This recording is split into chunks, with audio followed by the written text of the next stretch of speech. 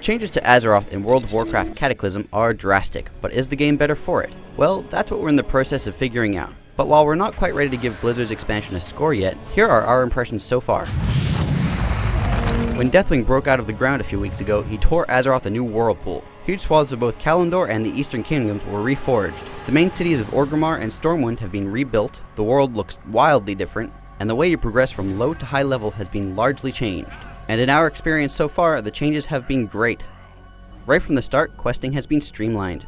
No longer do you have to cross continents to complete a single quest. Now, quest givers deliver their orders to you in groups and send you to the same location.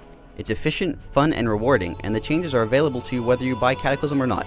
This same philosophy also applies to the Cataclysm content. For example, the starting areas of the new races. While the Worgen race provides some serious lore and shows one of the more troubling stories to come out of the Alliance, the Goblins are flat out fun. The first few levels of your life as a Goblin centers on your rise to the top as the Trade Prince of Kezan. Along the way you get a sweet pair of wheels, wine and dine some influentials, as well as make sure that if they puke, they puke in a bucket, and witness the natural disaster that causes your entire home city to be evacuated. The Goblins have always been very tongue-in-cheek, and Blizzard has gone all out with their opening quests.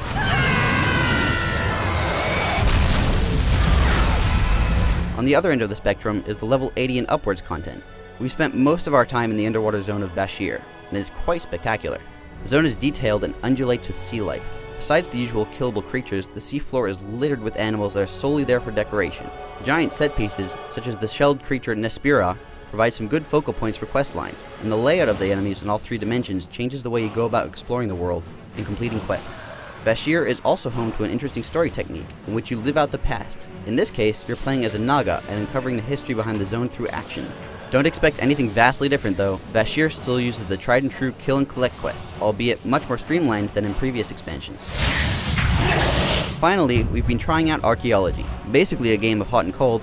A telescope points to where some relic fragments are hidden, and a light next to it tells you how close you are. Red is far, yellow is closer, green is very close. Once you survey the right place, a little note appears and you get some fragments. Pick up enough fragments and you can put together an entire relic. The relics fill in some of the thick World of Warcraft backstory, and some rare ones even give you usable items. It's a neat little distraction, but not something you'll want to focus solely on. Flying between dig sites can get pretty tedious as well. There's still a lot more in Cataclysm left to see, and we plan on seeing as much of it as we can before we finish our review. For the latest, keep checking our Cataclysm review page on IGN.com.